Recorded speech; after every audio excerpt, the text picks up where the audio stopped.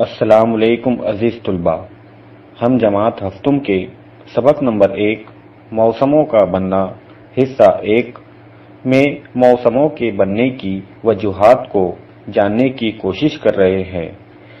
इसके लिए हमने इंटरनेट की मदद से 19 जून से 28 जून तक दहली के तुलो आफ्ताब और गुरूब आफ्ताब की मालूमात हासिल करके जदवल तैयार की हैं। जदवल में पहले कॉलम में तारीख दी हुई है। दूसरे कॉलम में तुलु आफ्ताब का वक्त दिया हुआ है। जैसे 19 तारीख को दहली में तुलु आफ्ताब सुबह पाँच बजकर पचपन मिनट था। तीसरा कॉलम गुरूब आफ्ताब का है।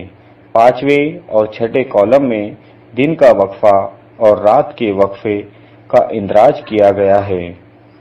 19 जून से 28 जून तक दिन के वक्फे और रात के वक्फे के फ़र्क को जानने के बाद हमें पता चलेगा कि 21 जून को दिन का वक्फा 13 घंटे 20 मिनट 31 सेकंड और रात का वक्फा 10 घंटे 40 मिनट 20 सेकंड था।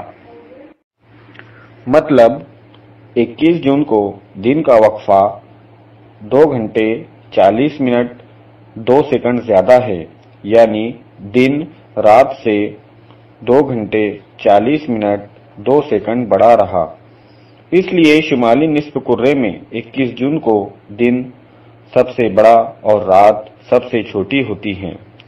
जदोल का बगौर मुशाहिदा करने पर हमें और भी इल्म होता है कि तुलो आफ्ताब और गुरूब आफ्ताब के अवकात में तसलसल से कमी या ज्यादती होती है।